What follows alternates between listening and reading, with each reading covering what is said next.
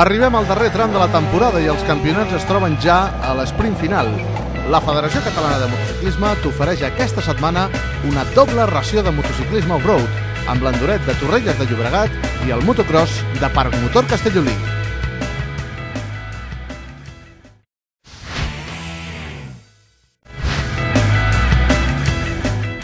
Torrelles de Llobregat, en una àrea molt propera a les instal·lacions de Catalunya en miniatura, esdevenia l'escenari de la desena prova de la temporada de la Copa Catalana d'Enduret.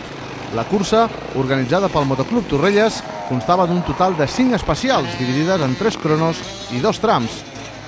L'Enduret és un campionat amb uns dominadors clars en cada categoria i en aquest cas els pilots destacats no van donar opció als seus rivals, oferint una lliçó de pilotatge que els permetia augmentar el seu avantatge a la general i evitar resultats sorpresa per part dels seus rivals.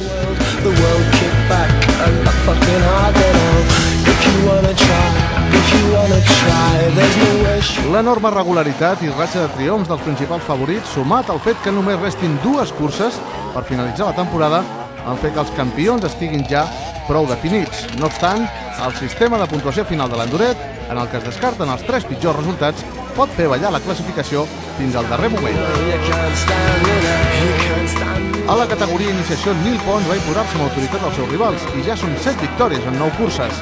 Líder de la general, Pons es pot veure beneficiat pel fet que el seu màxim rival, Bernat Cortés, obtingués la tercera posició per darrere d'Albert Girona.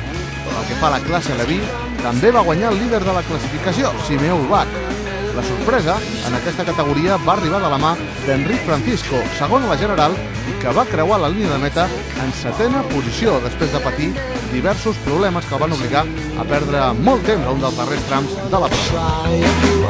Amb aquest resultat, Ubach es distancia lleugerament com a líder, amb 12 punts sobre Enric Francisco, que és segon. A la cursa de Torrelles, el segon classificat va ser Miquel Pujol, amb Joan Aguilar ocupant la tercera plaça. Kirian Miravet segueix intractable.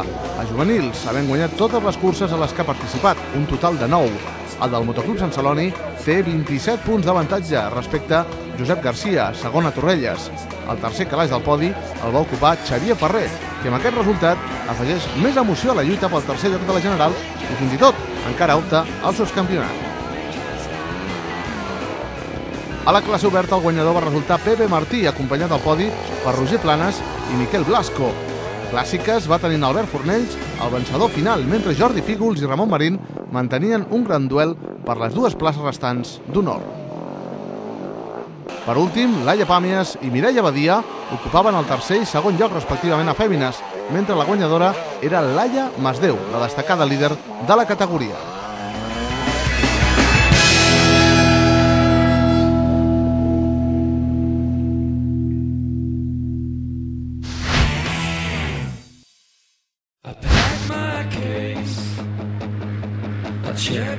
El Campionat de Catalunya de motocross va començar a posar punt i final a la temporada a les instal·lacions de Parmotor Castellolí.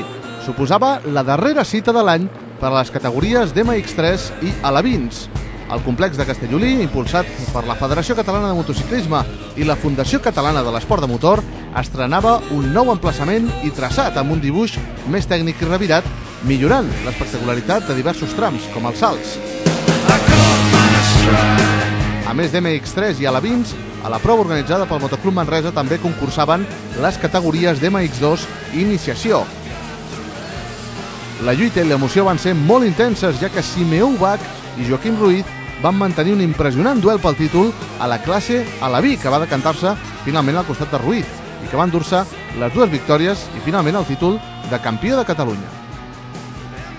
Les posicions a la classe Aleví es van mantenir pràcticament inalterables a les dues mànigues de cursa, Joaquim Ruiz i Simeó Ubach, que es disputaven el títol, van lluitar per la primera plaça castellolí, tot i que Ruiz es va mostrar molt sòlid i s'acabaria imposant amb autoritat a la taula de temps. Les dues victòries van permetre a Joaquim Ruiz arrabassar el liderat a Simeó Ubach i endur-se el títol de campió. En totes dues mànigues els va acompanyar al podi Marc Hernández, però ja a força distància del duet capdavanter. Com a nota destacada, en aquesta categoria va ser present Nil Pons, que després de coronar-se campió a la categoria iniciació, s'estrenava ja a la nova classe per començar a agafar el rodatge de cara a la propera temporada. Ho va fer obtenint una extraordinària sisena plaça final. A iniciació, amb la ja comentada absència de Nil Pons, el gran dominador de la categoria va permetre prendre protagonisme a pilots que fins ara havien assumit un paper més secundari. La lluita, molt igualada en totes dues mànigues, va ser entre Gervasio Cañas, que s'enduria el triomf final, i Aleix Canals, amb Marc Fontanals tancant les posicions d'honor. Pel que fa a MX2, la sorpresa la va protagonitzar Nil Arcarons, que arribava com a líder de la provisional però que aquella la segona cursa i es veia obligat a realitzar una enorme remuntada que tindria la seva recompensa amb la quarta posició.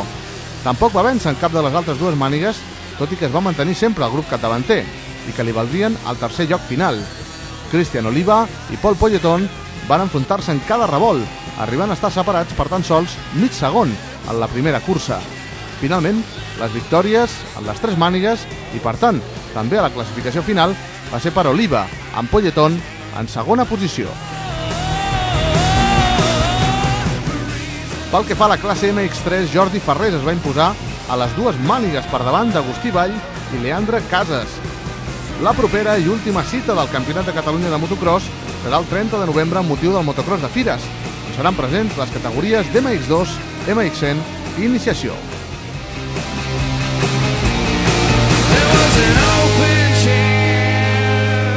Així van quedar les classificacions d'aquest motocross de Parc Motor Castellolí. A la classe iniciació, Gervasio Canyes, primer amb 90 punts, Aleix Canals, segon, i Marc Fontanals, tercera posició. A la classe Aleví, Joaquim Ruiz, que van dur la victòria a les dues mànigues, Simeó Ubach i Marc Hernández completant el podi. A la classe MX2, Cristian Oliva, amb un triple triomf. A la categoria, Pol Polletón, que es van dur la segona plaça, i el tercer lloc, Pernil Arcarons.